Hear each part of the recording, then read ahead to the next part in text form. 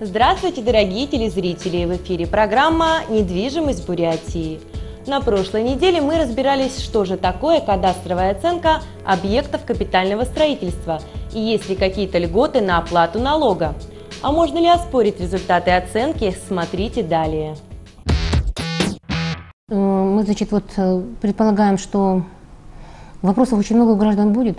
И в целом по Российской Федерации, поскольку 28 субъектов э, с 1 января 2015 года перешли на счисление налога на имущество, исходя из кадастровой стоимости, в рамках, значит, уже Росреестра Российской Федерации именно открыт сайт www.rosreестр.ru, который определя... разъясняет порядок обжалования, допустим, результатов кадастровой оценки. То же самое есть сайт на налоговых органах, это www.налог.ру.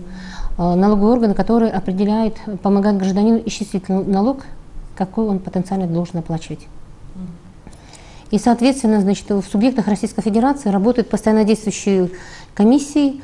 У нас такая комиссия есть, это при управлении Росреестра по Республике Бурятия, которая рассматривает все э, спорные моменты. То есть, если гражданин, увидев в этом постановлении свою кадастровую стоимость, и, кстати, этот, э, результаты кадастровой оценки, они полностью есть на а, сайте э, Росреестра, поскольку это ну, как информация, которая подлежит однозначной передаче и в налоговые органы, и в органы Росреестра.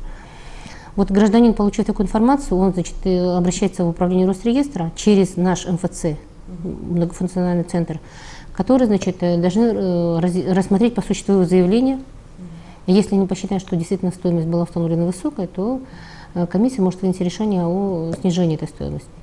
Значит, э, наряду с этим у гражданина есть право обжаловать э, результаты в суд. Но в суде он будет устанавливать рыночную стоимость своего объекта капитального строительства.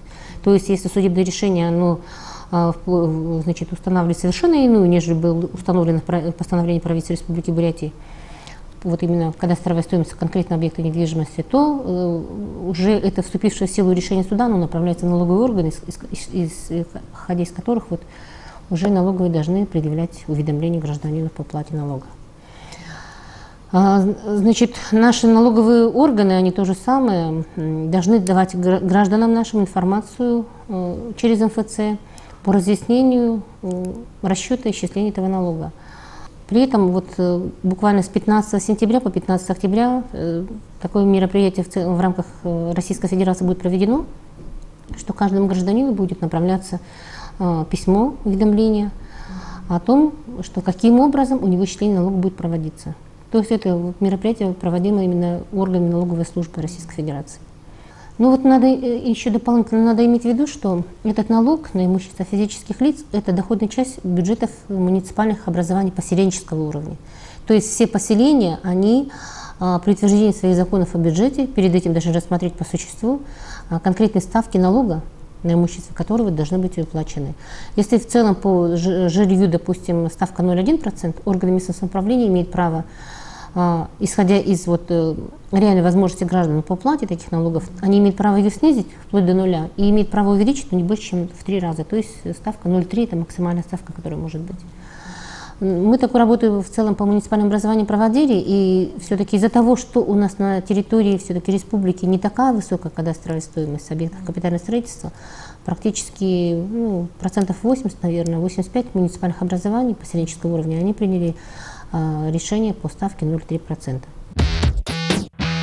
С 2015 года молодые семьи Бурятии, нуждающиеся в улучшении жилищных условий, могут принять участие в федеральной программе «Жилье для российской семьи». Программа нацелена на обеспечение жильем россиян в возрасте от 25 до 40 лет, имеющих постоянную занятость. При этом совокупные доходы участника программы должны позволять приобрести жилье, том числе с помощью ипотечного кредита, средств материнского капитала или иных форм государственной муниципальной поддержки на приобретение такого жилья. Цена жилья, построенного в рамках программы, не превышает 35 тысяч рублей за квадратный метр, причем в стоимость входят отделочные работы. Также участникам программы предлагают оформление ипотечных кредитов по сниженным процентным ставкам. В Улан-Удэ строительство жилья по программе запланировано в микрорайоне мясокомбината в 105, 115, 128 и 140 А кварталах. Подробнее узнать об условиях участия в программе «Жилье для российской семьи» можно на сайте программа-grs.rf. Это была «Недвижимость Бурятии». До свидания!